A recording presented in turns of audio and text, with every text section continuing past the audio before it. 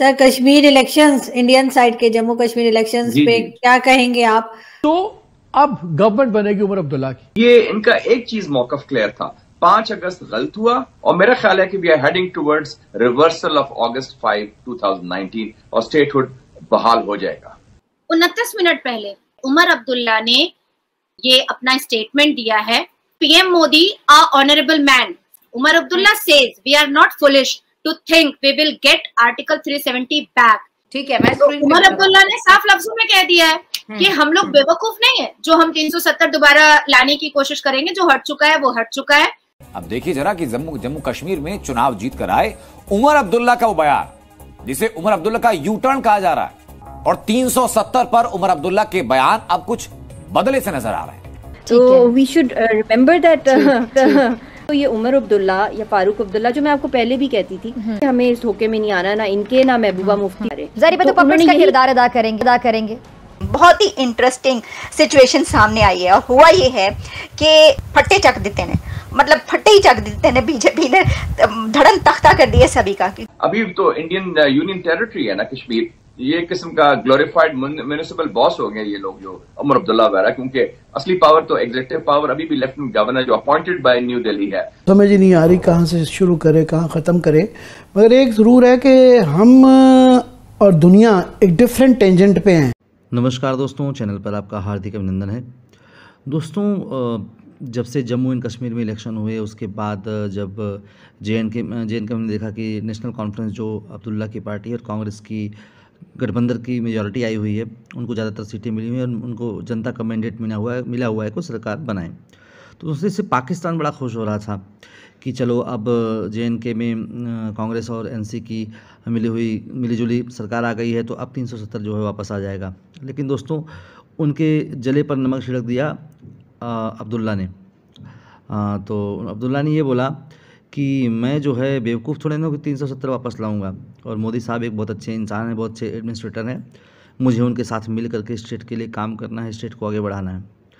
अब जब ये न्यूज़ जो है वो ब्रेकआउट हुई और पाकिस्तानी मीडिया तक पहुँची तो पाकिस्तानियों का बुरा हाल हो गया, बौखला गए एकदम। तो आइए देखते हैं पाकिस्तान के लोग, पाकिस्तान की मीडिया इसके बारे में क्या रिएक्शन दे रहे हैं, उनका इसके बारे में क्या कहना है? अब गवर्नमेंट बनेगी उमर अब्दुल्ला की। देखना यह कि इसका क्या असर होगा। क्या स्टेटहुड वापस आ सकता है इसके बाद जो जितना जुल्म हुआ है वहाँ पे? ये इलेक्शन बड़ा अहम था। ये पहला इलेक्शन था जब इन्होंने कब्जा किया ज़बरदस्ती मकबूजा कश्मीर पर एनेक्सेशन की 5 अगस्त 2019 और एक किस्म का रेफरेंडम बन गया था बिटवीन हिंदुत्व एंड कश्मीरियत। तो मैं समझता हूँ ये बहुत बड़ी एक स्टेटस को के खिलाफ, हिंदुत्व के खिलाफ बीजेपी के खिलाफ बहुत बड़ी एक फतह है। और मुझे ये इम्कान नज़र आ रहा है कि जो कि सारी पार्टीज़ जो जीती हैं, जिनका नाम ये भी लिया है इंक्लूडिंग द आम आदमी पार्टी, ये इनका एक चीज़ मौकफ क्लियर था। पाँच अगस्त गलत हुआ और हम स्टेटहुड जो है, उसको बहाल करना चाहिए। उसके लिए सारे लीगल और सियासी पहलू इख्तियार करेंगे। और मेरा ख्याल है कि we are heading towards reversal of August five two thousand nineteen और स्टेटहुड बहाल हो जाएगा। लेकिन ये देखें कि एक और भी है कि इन्होंने उनतीस सीटें जीती हैं बीजेपी ने, जो इनकी बेस्ट शोइंग है टू डेट इतनी सीट्स पहले जीती नहीं थी, अब ने जीती। तो क्या बीजेपी इसको एज अ पार्शल विक्ट्री देख सकती है? बीजेपी को आप कह सकते हैं छोटा सा foothold in there core Jammu Hindutva, Hindu area में मिल गया है। लेकिन आप क्यों समझते हैं कि स्टेटहुड वापस आ सकता है? 370 वाला दोबारा इशू बन सकता है? दिल्ली इग्नोर करेगा, वहाँ पे तो हिंदुत्वा के बाप बैठे हुए सारे, डोबल बैठा हुआ है, अमित शाह है, मोदी है। देखिए इलेक्शन में भी मोदी जो है इलेक्शन नहीं जीता। 303 सीटों जो लोकसभा में थी कहना कहता अब की बार 400 पार। ही गॉट 240 सीट्स और एक कोलिशन गवर्नमेंट में आ गया. ये Modi is at his weakest in the last ten years और एक और चीज़ ना नोट करें कि जो कश्मीरी फ्रीडम स्ट्रगल है, मैं आर्म स्ट्रगल की जदोजहद आज़ादी की बात कर रहा हूँ, वो भी काफ़ी तकबीयत अख्तियार कर गया है पिछले एक साल से. तो उन पर दबाव बहुत है. और ये दबाव साथ साथ पंजाब में भी है, जो खालिस्तान मूवमेंट रिवाइव हुई है। और बांग्लादेश के इंकलाब के बाद वहाँ से भी प्रेशर बढ़ गया है। तो उस प्रेशर को डिफ्यूज करने के लिए वो करेंगे। और ये ना भूलें कि पाकिस्तान फ़र्स्ट जनवरी से यूएन सिक्योरिटी काउंसिल का मेंबर बन रहा है। और हमारा एक फोकस बड़ा वाजे होगा कि पैलेस्टाइन के अलावा कश्मीर पर हमारा फोकस होगा। ये मुझे बताइए जो आपने बात की, इसी से अगला सवाल जुड़ा हुआ है कि पाकिस्तान अब क्या कर सकता है इसमें? और पाकिस्तान मैटर्स अ लॉट जब हम कश्मीर के लोगों से बात करते हैं तो बहुत ज़्यादा वो पाकिस्तान पर रिलाई करते हैं इंटरनेशनल डिप्लोमेटिक लड़ाई लड़ने की सब कुछ। उमर अब्दुल्ला साहब, कभी भी हमें पाकिस्तान के कैंप में या इतने सिंपथेटिक नज़र नहीं आए, इतने के बाकी लोग होते थे? अभी तो इंडियन यूनियन टेरिटरी है ना Kashmir. Lieutenant governor is the boss there ये किस्म का ग्लोरिफाइड म्यूनिसिपल बॉस हो गए ये लोग जो उमर अब्दुल्ला वगैरह क्योंकि असली पावर तो एग्जीक्यूटिव पावर अभी भी लेफ्टिनेंट गवर्नर जो अपॉइंटेड बाय न्यू दिल्ली है। उनतीस मिनट पहले उमर अब्दुल्ला ने हमारे हम्म। भारत देश के सबसे बड़े चैनल को ये अपना स्टेटमेंट दिया है।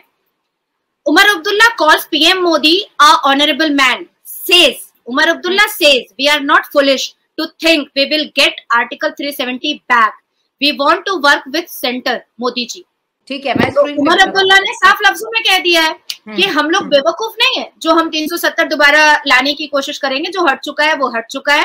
कांग्रेस क्या बोलती है वो कांग्रेस समझे।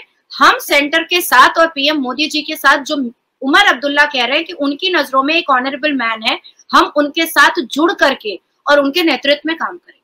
दूसरा आपने कहा कि फारूक अब्दुल्ला ने कहा था कि पाकिस्तान से बात करनी चाहिए। लेकिन केंद्र में आदरणीय प्रधानमंत्री जी की सरकार है। आदरणीय प्रधानमंत्री मोदी जी बैठे हुए हैं मतलब अगर सेंट्रल नहीं चाहेगा तो नहीं होगा। कभी नहीं होगा। और फिर और फिर अभी उनतीस मिनट पहले की मैंने न्यूज़ आपको प्रूफ के साथ दिखा दी है हम्म, कि उमर अब्दुल्ला ने साफ़ कहा है कि ना ही वो 370 वापस लाने की बात कहेंगे और वो मोदी जी के नेतृत्व में वो कश्मीर को आगे बढ़ाने का और इम्प्रूव और डेवलप करने का काम करेंगे। हम्म, हम्म। लेकिन मैं आपको एक और चीज़ मैं और आपके साथ डिस्कस करना चाहती हूँ। शगुन परिहार जो। जिसने जम्मू कश्मीर में एनसी को हरा करके किश्तावर से वो जीती हैं। हाँ कश्मीर से। और हाँ। अपने माता पिता को उन्होंने इस्लामिक एक्सट्रीमिस्ट जिहादियों ने मारा था उन्होंने खोया है। ये जो लड़की है ना ये रियल कम बैक क्वीन है जम्मू एंड कश्मीर की। ये शगुन परिहार उन कश्मीरी पंडितों को दोबारा कश्मीर में लेकर के जाएँगी। बड़ी ज़िम्मेदारी से ये बात अच्छा कश्मीर लेना कश्मीर लेना भाई जान?